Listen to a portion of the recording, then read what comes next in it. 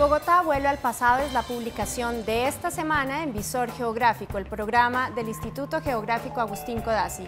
Esta publicación fue trabajada de la mano de Villegas Editores y el Instituto Geográfico Agustín Codazzi con fotografías de 1935 a 1985.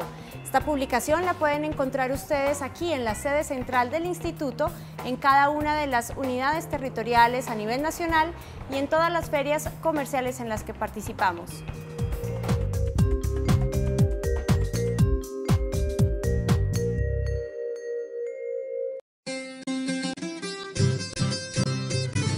Cómo no empezar nuestro recorrido geográfico por la cuna de la Fundación Colombiana?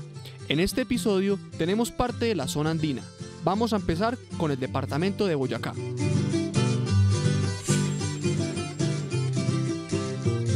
Ubicado sobre la cordillera de los Andes, el departamento de Boyacá es la meca de la civilización muisca y sus tierras atestiguaron las batallas que dieron origen a la independencia colombiana.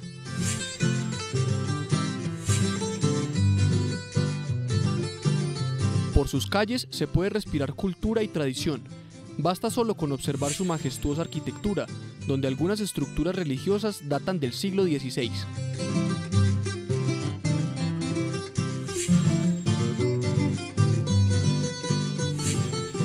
Podría decirse que el monumento más representativo es el que conmemora a los héroes que dieron el grito de independencia en el sector del puente Boyacá.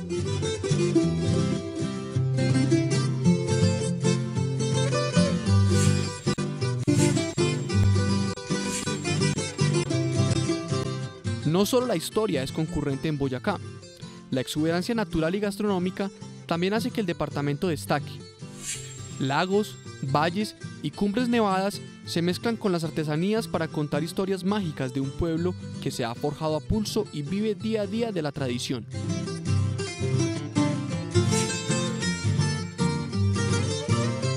Los sembrados de papa y los viñedos son la producción autóctona y junto a la lana constituyen la base económica del departamento. Con importantes sitios turísticos, buen sistema de vías y su encantadora gente, Boyacá se constituye como uno de los destinos imperdibles para los colombianos.